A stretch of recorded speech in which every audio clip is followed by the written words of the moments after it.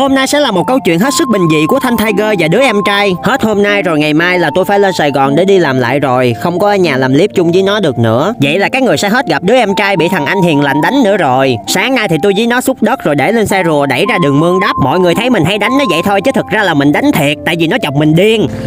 Trời ơi, làm không có làm tao bấm cái gì vậy? Tắt. Nhìn cái tướng nó vậy có ai tin là nó sinh năm 2008 không? Y chang học sinh lớp 5 vậy đó Tối ngày tôi kêu nó bằng học sinh lớp 5 cái nó chửi tôi Mẹ lô không, tôi đẩy cho mẹ cái xe rùa thấy bà mẹ à. Hả? Xong rồi thì cất cái xe rùa rồi đi lên. Mua cho cái bánh bao bồi bổ rồi đi học. Có xe đạp đó nhưng mà biết tôi sắp đi rồi cho nên là bắt tôi phải chở đi học. Lên hai học. Xe.